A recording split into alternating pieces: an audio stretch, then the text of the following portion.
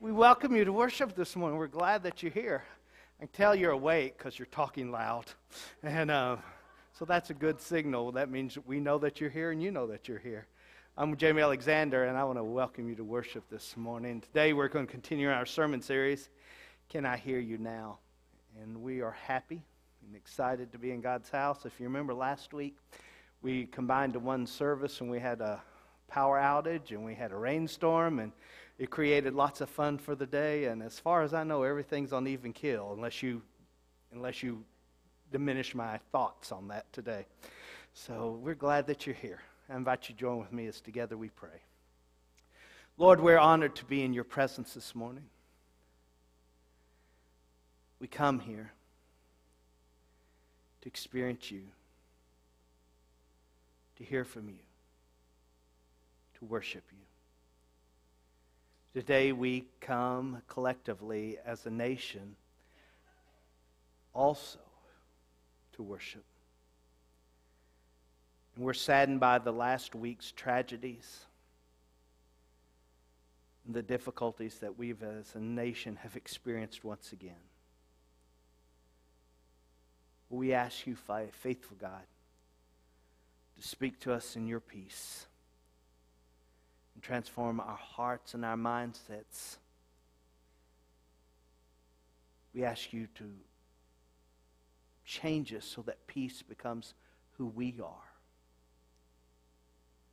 and that we have the fruit of your Spirit boldly transforming us. As we gather here, we ask for your peace to, to reign for we want to engage ourselves with your heart. We ask this, all faithful God, in the loving name of your Son, our Lord and our Savior Jesus Christ, we pray. And together we say, Amen. Nothing like getting caught being a chatterbug in the morning. which is what I did. So, um, welcome. I am Judy Red Platt. I'm one of the ministers here at First United Methodist Church. And we're delighted. This is kind of fun seeing all of y'all out there um, this morning. I want to invite you to register your attendance with us if you haven't already. The pads are on the inside of um, each uh, pew. And um, if you are a visitor, we would especially invite you to give us some contact information because later on in the week, we would like to do just a little drop in visit and bring you a mug to let you know about uh, more about the life of this church. And as you're about to know from the announcements I'm getting ready to make, that we are alive and well and thriving in this church. And so we're just delighted to have all of you here. And I also want to say a warm welcome to all of those that are worshiping with us over. Uh, the airwaves. We have lots of announcements this morning, and so I'm only going to stress a couple and direct you to your bulletin for the rest of them. In case you haven't noticed when you came in the front doors, VBS is beginning today. Um, you could probably see the cornices above the, the doors as you came in. Uh, it will begin at 6 o'clock this evening, and if you have not already registered a child, it is not too late. Uh, grab one and bring him tonight at 6 o'clock. Uh, and uh, we will be providing uh, um, uh, lots of fun activities. This very sanctuary is going to be transformed into the palace at Egypt, and the kids are going to have the opportunity to travel with Joseph uh, from the prison to the marketplace and then also to the palace. So um, we invite you to, do, to help with that. If you are wanting to help uh, it, with that and you haven't already been given an assignment, um, we would love to. We, I'm sure we can find a place for you. That won't be a problem if, if you want to uh, expend a little extra energy. Uh, meals will be served for the workers um, Monday, Tuesday, Wednesday, Thursday uh, but not tonight. So if you are working uh, this evening, make sure and grab a bite to eat before you arrive. There is also a meeting immediately after the second service from 11 to 12:30, and they're going to be completing the setup. So if you're available to help with that, that would be fabulous. We're really excited about our Vacation Bible School this year. We have a, a few other announcements. Uh, there's a Finance Committee meeting tomorrow at 6 p.m. in room 6. Um, also, the United Methodist Men are meeting this Wednesday in the chapel at 6 p.m., 6:30 p.m. And I'm just going to briefly mention these. All of these are in your bulletins. Um, Pack-a-Sack is next Sunday, so make sure to bring your uh, your donations for Pack-a-Sack. There is the women's retreat. There is still room uh, for you to register for the women's retreat on July 30th. And if you're interested in that, please contact the, uh, the church office. Um, I feel like I'm missing one. Oh, the rummage sale is uh, right around the corner, so uh, please be mindful of what you want to bring for that. Um, once again, you can check on your bulletin. And then, one thing I, w- I do want to tell you all about is on July 24th, which is in Good grief, it's only two weeks. Can you all imagine? Can you imagine? I mean, it seems like the summer's just flying by. Um, we're going to have a no stress July joining Sunday. So if you are not already a member of this church or you haven't uh, in some way committed uh, to being more faithful in your, um, your walk with this church body, then that this is a no stress Sunday where you can um, become more better affiliated with the church, more formally affiliated with the church in a very comfortable setting. So if that's something that interests you, uh, just watch for details in the future. And so now, let us join our hearts and our minds together as we prepare to worship the one and only living God.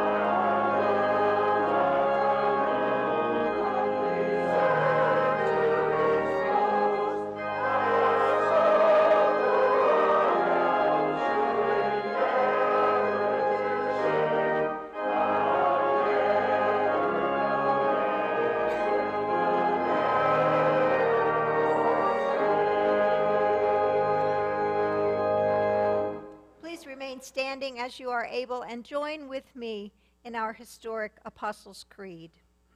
I believe in God, the Father Almighty, maker of heaven and earth, and in Jesus Christ, his only Son, our Lord, who was conceived by the Holy Spirit, born of the Virgin Mary, suffered under Pontius Pilate, was crucified, dead, and buried.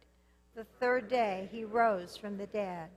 He ascended into heaven and sitteth at the right hand of God the Father Almighty. From thence he shall come to judge the quick and the dead.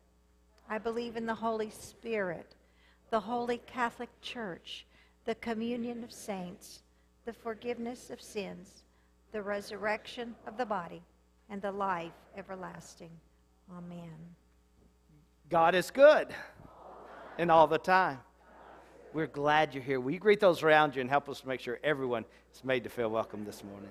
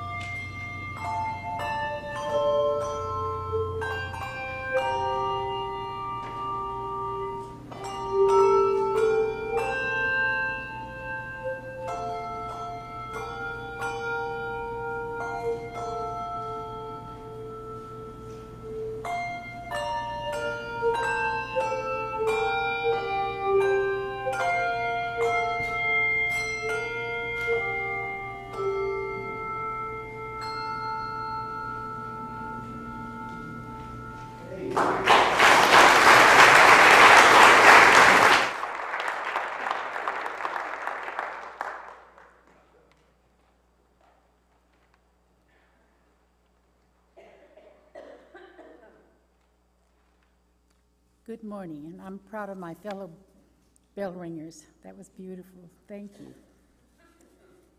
Our scripture reading this morning is from James 3, verses 16 and 17. Listen for the word of God. For where you have envy and selfish ambition, there you will find disorder and every evil practice. But the wisdom that comes from heaven is first of all pure, then peace loving considerate, submissive, full of mercy and good fruit, impartial and sincere. This is the Word of God. Thanks be to God.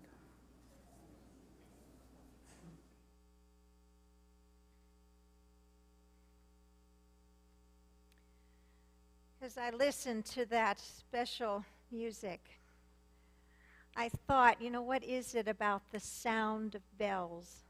That sounds, that brings such peace. And then I thought, what is it about the Word of God that brings such peace? May we give thanks this morning and give back to the God who brings us peace. May we give with grateful hearts, knowing that whether it's $1 or many dollars, each offering is an act of worship to the God who loved us first.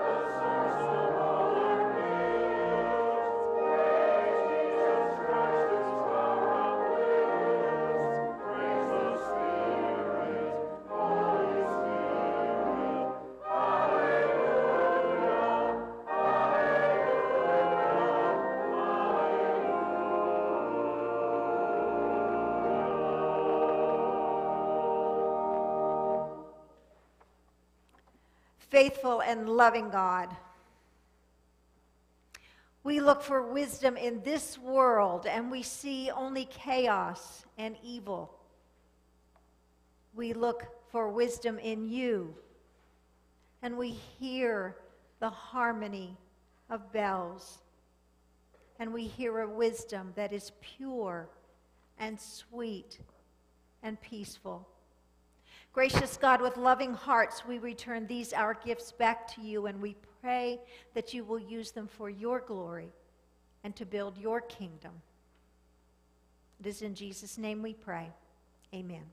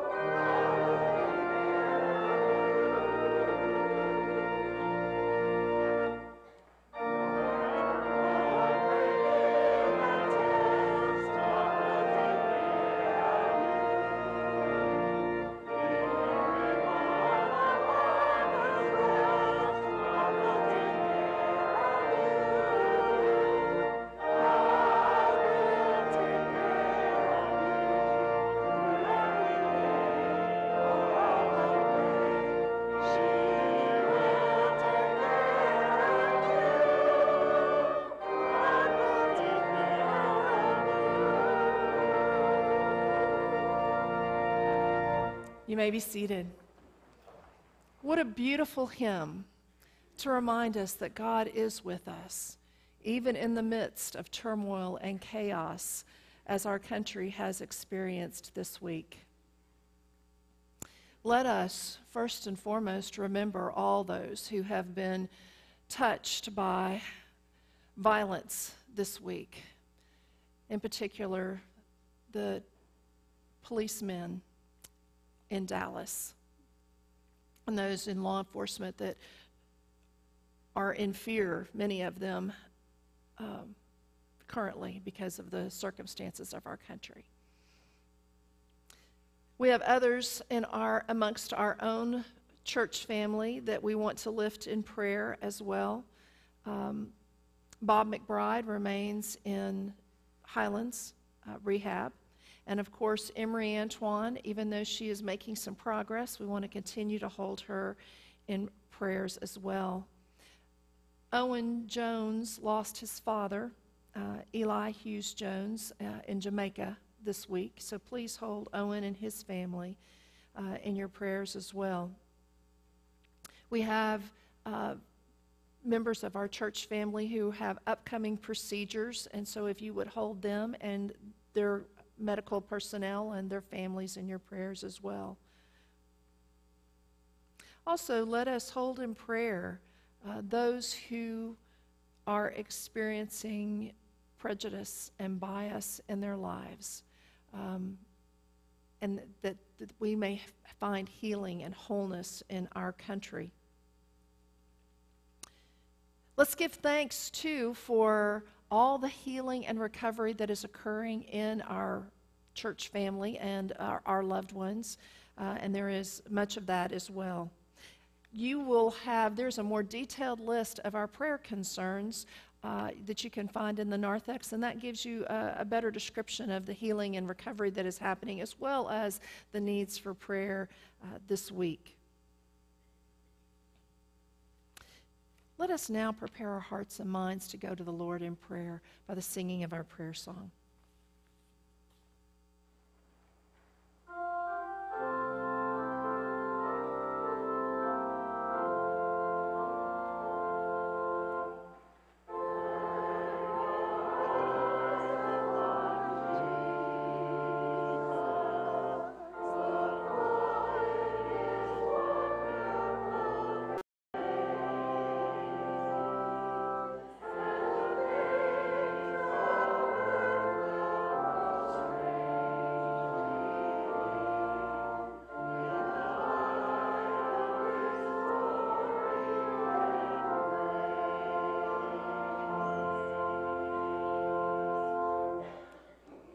If you are invited, if you care to join me here at the kneeling rail as we go to the Lord in prayer.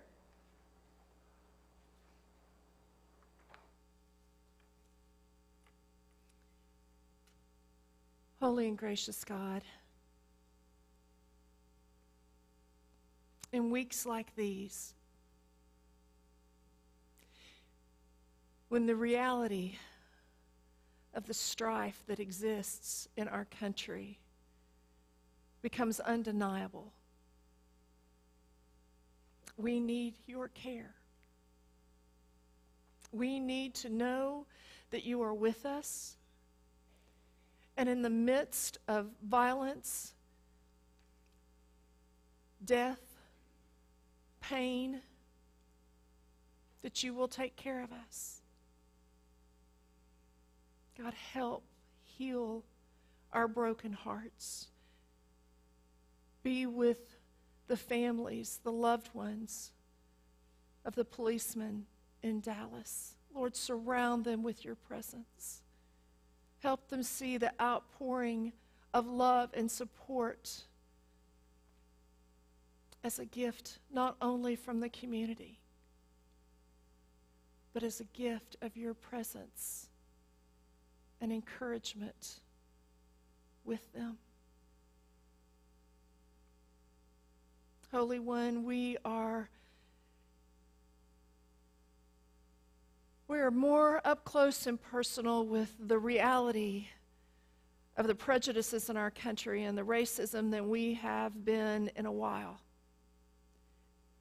And Lord, we can point the finger at other people, but the truth is that our very hearts and our minds need to be healed.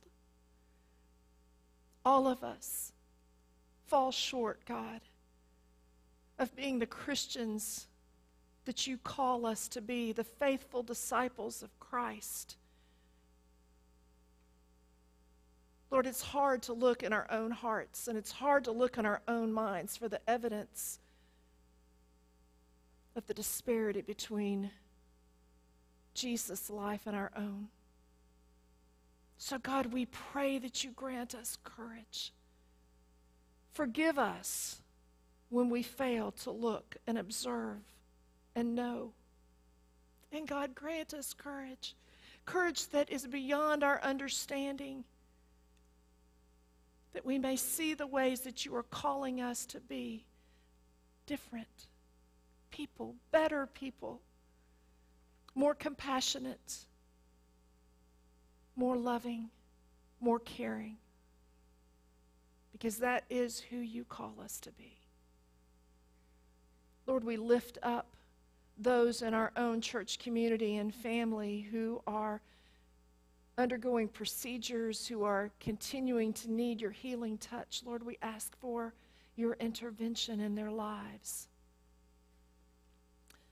Lord, we ask your presence with the Ambassadors for Christ Academy on Ford Springs Road, Lord, that you will be with their, their ministers and their congregation and their missions in this world, Lord, that you will make a difference through them. God, we pray that you will be with those who are experiencing loss and death, pain and confusion, broken relationships, suffering. Lord, that somehow, some way, through us, your love, your magnificent love, your love that has no judgment, your love that is full of compassion, that accepts us exactly where we are every moment of every day, will be sensed and felt through us to bring healing to others. Because you, Lord, have called us to be your hands and your feet. We are the only hands and feet that you have in this world.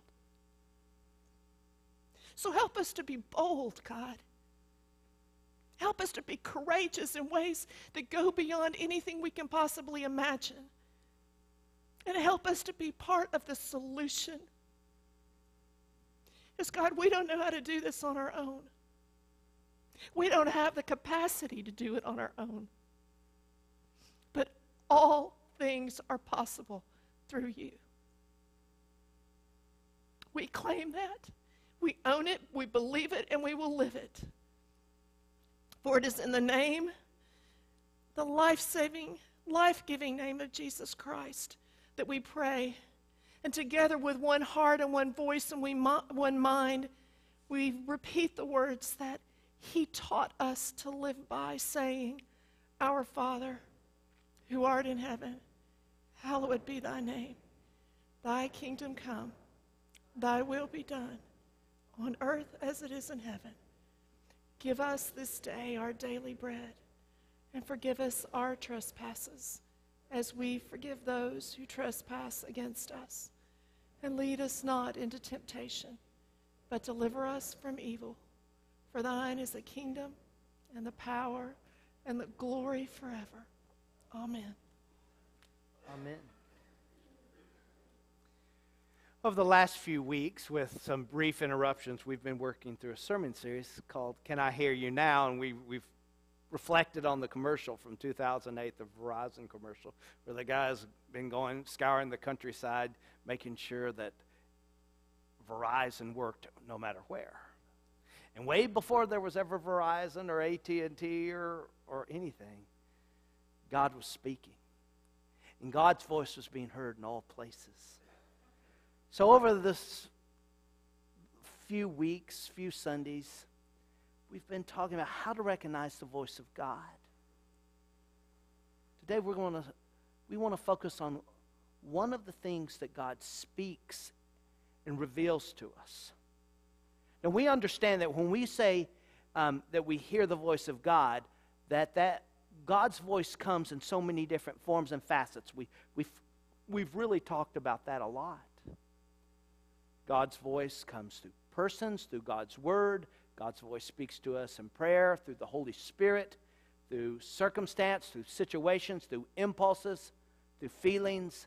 There's so many ways that God's voice is heard. But it also may be heard audibly. We reflected on Moses when God spoke to Moses and he called him out. We talked about how to recognize God's voice, that God will always speak in a language of love and a language that we will know. Well, today we are focusing in on one of my favorite passages of Scripture. It's in the book of John. And this is as Jesus is preparing to go away forever from his disciples in the form that they've known him in. He will still be present, he will make post resurrection appearances to them, but the way that the disciples know him in this moment is about is going to change. And there's great fear over what the future holds and what it would mean to carry on the gospel without Jesus there to guide. And so fear gripped their hearts, gripped their minds. It was almost paralyzing. And Jesus spoke and told them there would be peace. And so we're reading just a little bit out of John 16, verses 29, and some of the following. So if you've brought your Bible or you want to follow along in your Pew Bible, I invite you to do so. And here, it helps if I'm in the right book, right? Get to John here. John 29. And then the disciples, and then Jesus' disciples said, Now you are speaking clearly and without figures of speech. Now we can see that you know all things and that you not, do not even need to have anyone ask you questions. This makes us believe that you came from God. Jesus spoke. You believe at last, Jesus answered. But a time is coming and has come when you will be scattered, each to his own home and you will leave me all alone. Yet I am not alone, for my Father is with me. And verse 33 says, I have told you these things so that you may have peace. In this world, you will have trouble, but take heart. I have overcome the world. This is the word of God for the people of God. Thanks be to God. I want to tell you a little personal story about me. When I accepted call to ministry, it was in August of 83. And then I went off to college. I finished high school, went off to college. And I was fearful about leaving home. I mean, paralyzing fearful about what the future would hold outside the glorious state of Arkansas. And I just it just gripped my heart and it became an issue of great interpersonal debate that I did not ever verbalize outside.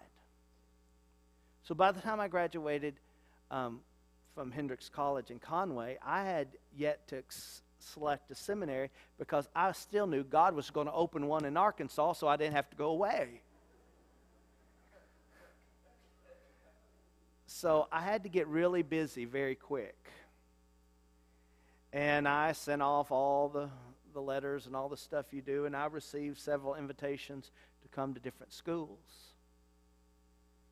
And I selected um, Candler School of Theology at Emory University in, our, in Atlanta based on one thing. I knew some people from Arkansas in Atlanta. I didn't care about the school. I just wanted to know I knew home people. And so over that summer, I'd been a church cook all those college years. I'd worked in a church camp as a cook. I'd worked in the same church for three years as a cook. And First Baptist Church of North Little Rock was without a cook for the summer. And the milkman, the cook had told the milkman, the milkman had told my grandmother, so I hightailed it over there and I said, you know what, you need a cook for the summer and I need a job. Why don't we work this out and you'll have time to find a cook? And believe it or not, they hired me. And it was a job in which I cooked for their daycare Monday through Friday, and then I prepared the Wednesday night meals and anything extra that had to be done. Their kitchen was filthy. They had had cooks that didn't care. So I would spend a lot of time, even after I was off the clock, scrubbing their, their kitchen. Even I literally I scrubbed the clock because on the outside of it grease was that thick you couldn't even see the hands on the clock. I scrubbed the walls, I scrubbed everything, and I wanted to leave the kitchen better than when I found it.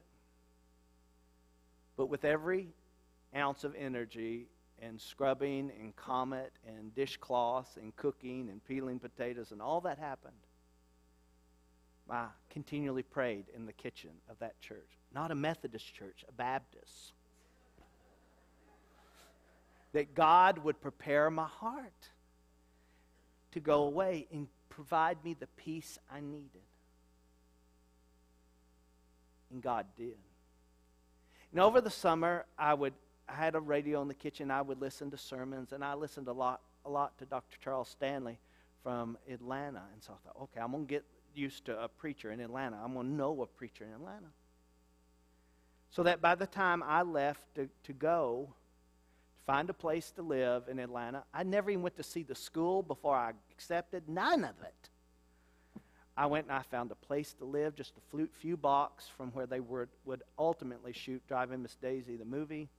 I found a, a, job in a church. I found it. And every night I spent the night in the same hotel, but every morning I checked out when I was in Atlanta because I thought, I don't know where I'm going to be that night. And I came home. And that's, I knew it was okay.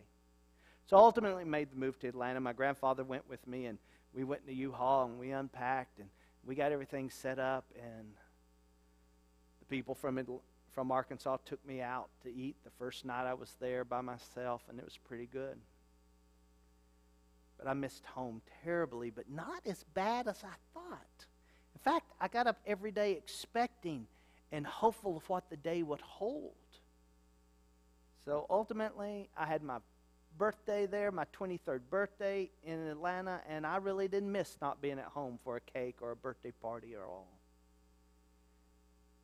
So you speed up a few months, and it's on a Sunday night and me and a, a friend I had made from Tupelo, Mississippi, who was in seminary also, we, we went down to hear Dr. Charles Stanley preach on a Sunday night at First Baptist Church.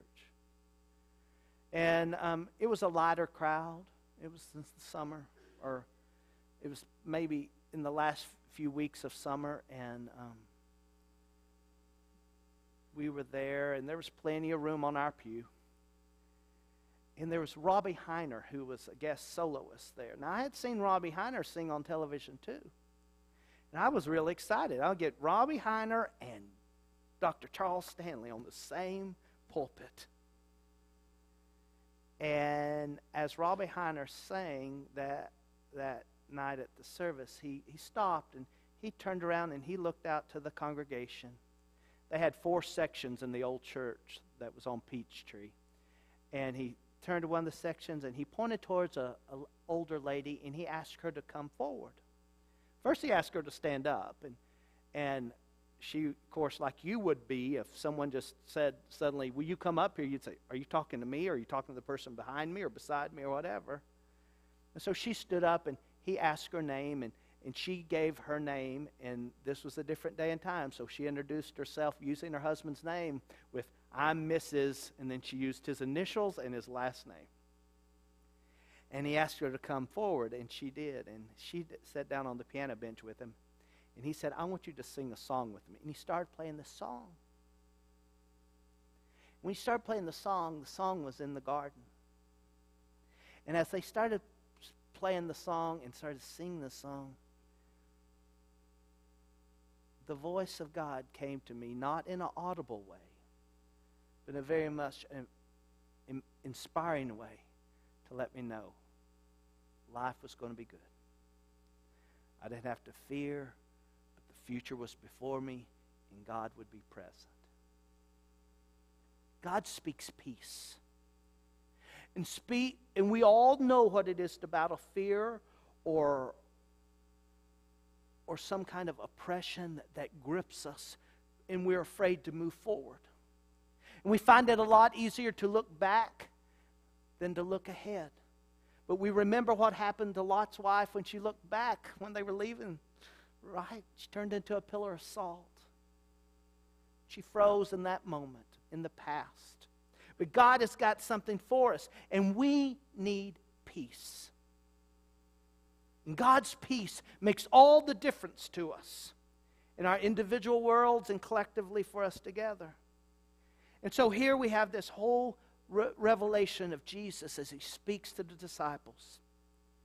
In these days, in the, even these hours before he would face the agony of the cross, when it would be so unpeaceful, he comforts his disciples by telling them that he would not ultimately leave them without guidance, without wisdom, without direction after he had gone. He would not completely leave them.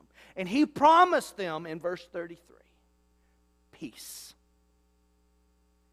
You know what peace is?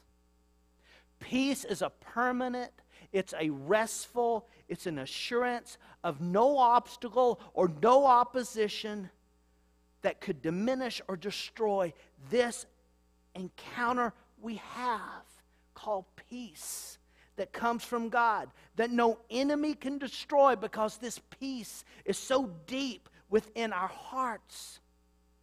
A peace that that can unlock our hearts so that we're open to God. And that's what happened to the disciples when Jesus spoke to them. Now, in John, if you, we flip back a little bit more further, in the 14th chapter and the 27th verse of John, Jesus says, I am leaving you a gift. He told them this. And he told them to have peace of mind and heart that peace is a gift that would be given through the wisdom and guidance of the Holy Spirit.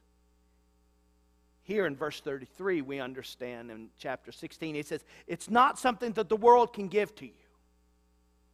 It's something that I give to you. So don't be troubled, he tells the disciples, and don't be afraid. And we hear him tell us that too today. And so, at a time when Jesus' followers are surrounded by anger, confusion, frustration, and ultimately death, Jesus is assuring them that there will be real peace. There will be peace from above. There will be peace from Him. That even the most dreadful circumstances could not destroy or take away or tamper with the serenity that the peace would give. Jesus tells them that. In this world, you will have trouble. In this world, you will have difficulty. On this, in this world, you will have trials, you will have sorrows, but he says, Take heart, because I have overcome the world. Now, Jesus was so focused on helping the disciples and the, his followers know peace. That in fact, the very first words that Jesus spoke, and we just spoke about this a few weeks ago, when he made his resurrection appearance, was peace. Peace be with you. Because he knew fear would touch their hearts in his presence. They had seen him die. They knew that there was a tomb that was to contain him, ultimately, that they discovered did not. And so when he went to them and he showed them the wounded parts of his body, his hands and his feet, he repeated to them, Peace be with you. And they came to know Jesus. Ultimately, by his peace. And so do you, and so do I. We come to know the Father and the Son and the Holy Spirit, our triune God, through peace. Because when God speaks, peace occurs even in the most difficult of circumstances. And peace is not only an element of God's character, it's an evidence of His presence. In the presence of the Lord, there is peace. There is an experience, peaceful assurance when God speaks no matter what the circumstances is. It's a peace that you can experience deeply within, even when chaos is all around us, even when circumstances are such that we don't understand. Because God gives peace that ultimately is serenity.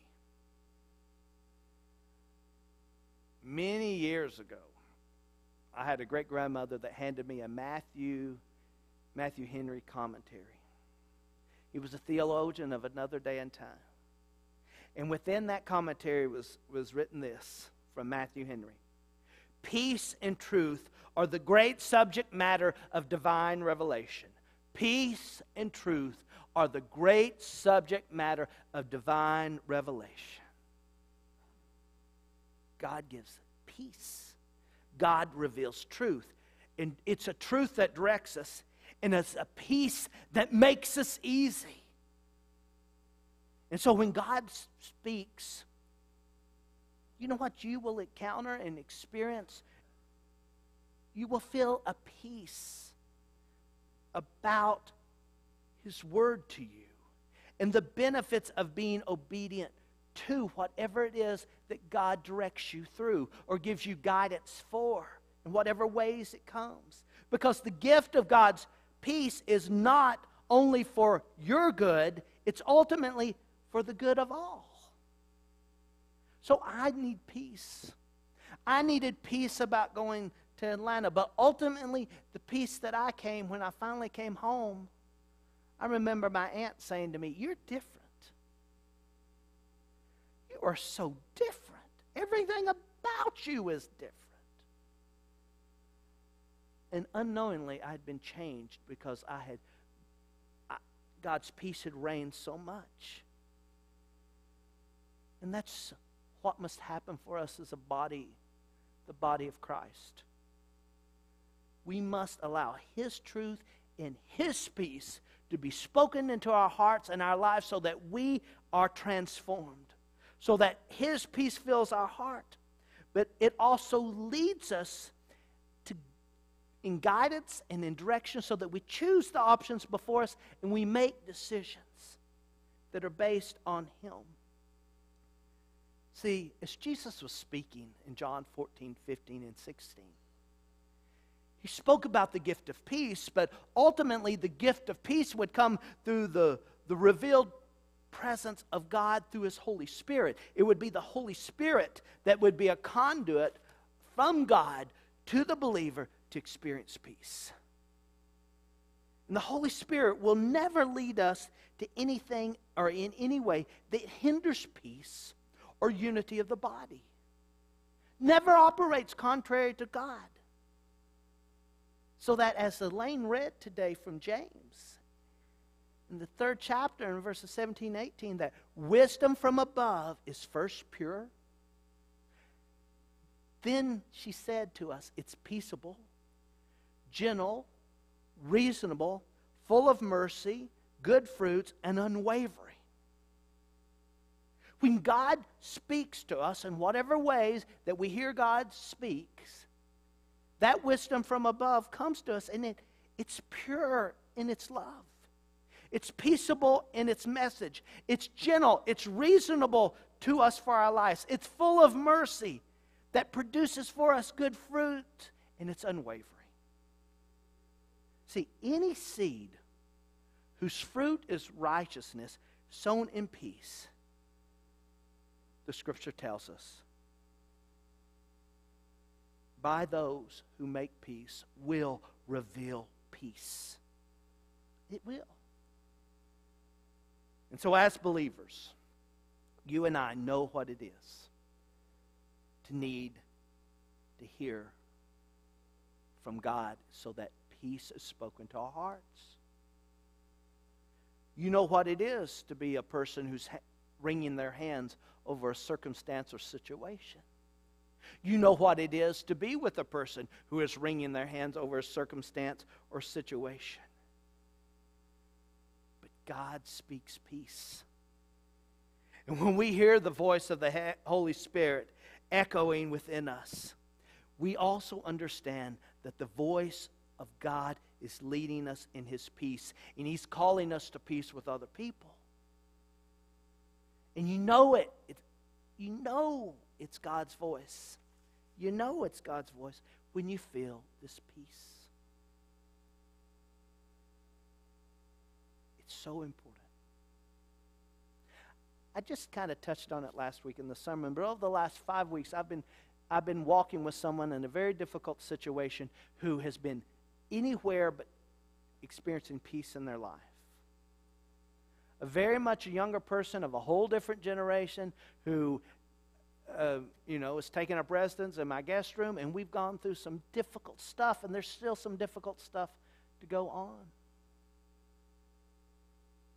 But it's been amazing to watch peace, the peace of God, transform his heart from a heart so full of fear that he is facing his future courageously. And this weekend he has left and he's gone to an inpatient facility that will guide him to face a future in even greater ways.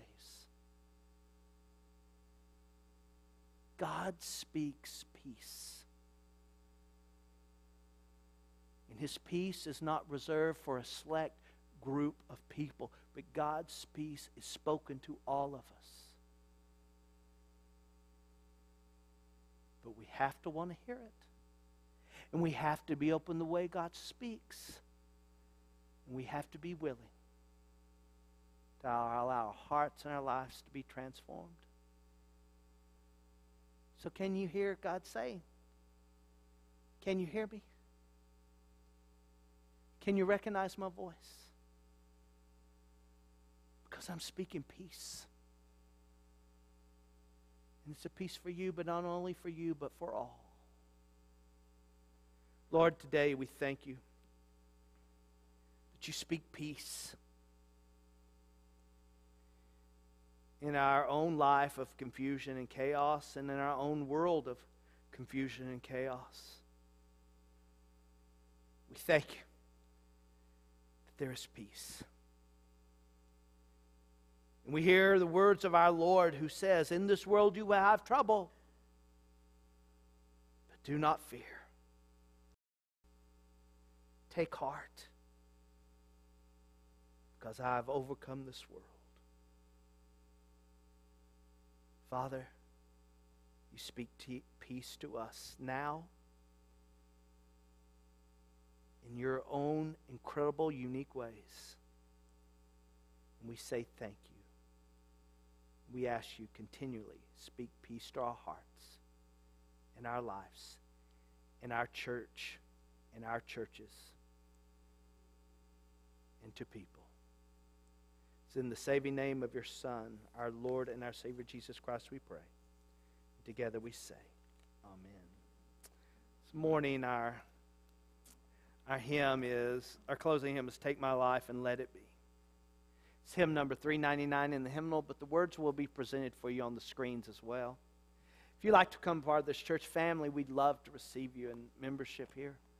You're invited to come on transfer of your membership from another church family or on your profession of faith in Jesus Christ, who is Savior, Savior and Lord of your life. Also, know that the altar is here for you to be in a time of personal prayer. If you would like to be prayed with by one of the pastors, it would be our privilege to pray for you. We invite you to come and just be in a time of prayer for, for all that's going on in our world and our nation, but also for you in your own personal lives, as well as a time of praise. So know that you're welcome here in this place. We do look forward in, in other services um, today of welcoming new persons in our church family, and so we'll want you to be listening for those and, and greet those persons later. But in this service, there may be somebody, and we want to welcome you here too. I invite you to stand and join with us as together we sing.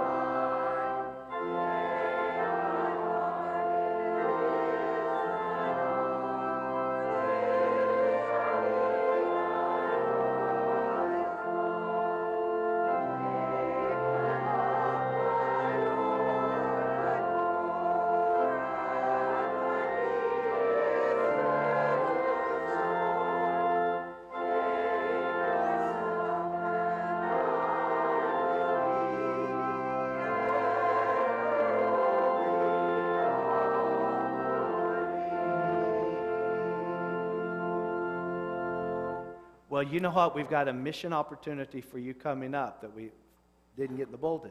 Helping Hands is going to, um, which is a thrift store in Benton County, in Bentonville. If you don't know, it's at the end of 28th Street. We have a Saturday. It's Saturday, Jan- July. I'm in January. July the 23rd, and we uh, we have a responsibility of helping that day, volunteering. Help is needed in the morning and in the afternoon, and you can see Verna Botchin about that or call the church office, and we'll be getting you information about that. So put that on your calendar. You know, not only do you get to work there, but you get to find some pretty cool things, I understand. And so um, I had to quit going because I was taking home too much stuff. True confession. But go in the knowledge now that our God is a God who's faithful. Faithful in our past, faithful in the present, and faithful for our future. And remember, you and I, we don't simply come to church, but who are we called to be? God bless you. Thank you for, so much for being here today.